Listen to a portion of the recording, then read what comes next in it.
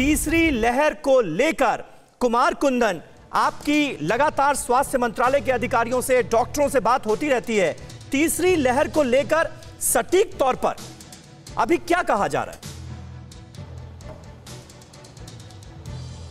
देखिए तीसरी लहर को लेकर समीर अ, सरकार ये कह रही है कि तीसरी लहर आ भी सकती है तीसरी लहर नहीं भी आ सकती है।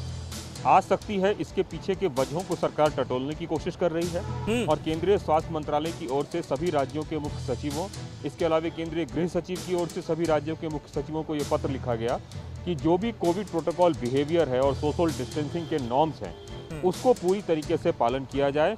क्योंकि हाल फ़िलहाल के दिनों में देखा गया हमने भी टीवी नाइन भारतवर्ष पर मसूरी से लेकर मुंबई से लेकर सब जगह की तस्वीरें दिखाई। बिल्कुल। जिसमें यह दिखाया कि किस तरीके से लोग कोविड प्रोटोकॉल का पालन नहीं कर रहे हैं क्योंकि कोरोना का वायरस गया नहीं है और जब संक्रमण का स्तर होता है उसमें हर किसी को संक्रमित होना ही होना है आज हो या कल हो।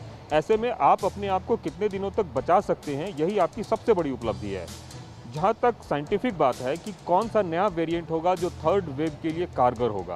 अभी तक सरकार या फिर साइंटिफिक कम्युनिटी इस नतीजे तक नहीं पहुँच पाई है कि वो तीसरा वेरिएंट कौन होगा जिसकी वजह से थर्ड वेव आएगा।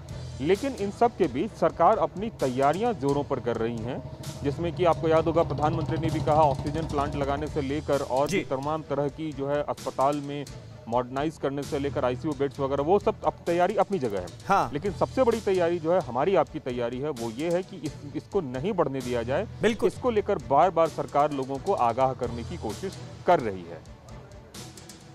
अड़ी सोमवार से शुक्रवार शाम छह बजे सिर्फ़ टीवी नाइन भारतवर्ष पर।